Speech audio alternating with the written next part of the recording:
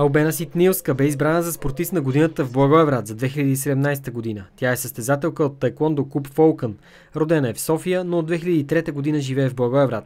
През тази година печели европейска титла в Ливърпул, многократна европейска шампионка по Тайкондо и световна шампионка по кикбокс. Изненадана съм. Наистина не очаквах, че аз ще стана този път спортист на годината.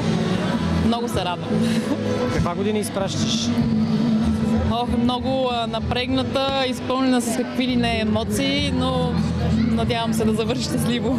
Подгласници на Ситнилска станаха Димитър Димитров спортна гимнастика на второ място и боксерът Емануил Богоев, който завърши трети. Наградите бяха връчени на пишна церемония в зала Скап Топара. Награда за фейрплей спечели Иван Цветков. Треньор на годината стана Вергилий Ситнилски.